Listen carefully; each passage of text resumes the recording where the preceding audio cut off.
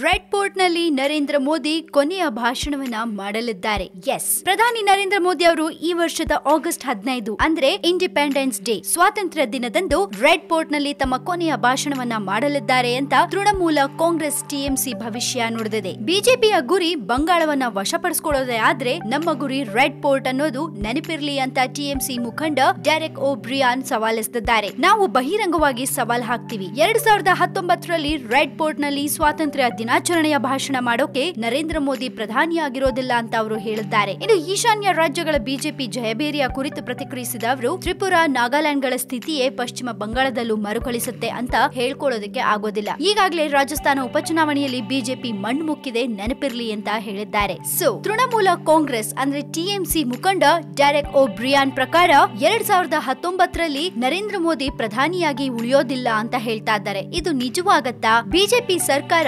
ಅಧಿಕಾರಕ್ಕೆ ಬರೋದೇ ಇಲ್ವಾ? ನಿಮ್ಮ ಒಪಿನಿಯನ್ ಏನು? ನಿಮ್ಮ ಕಮೆಂಟ್ ಏನು ಅನ್ನೋದನ್ನ ಮಿಸ್ ಮಾಡದೆ ನಮಗ್ ತಿಳಿಸಿ.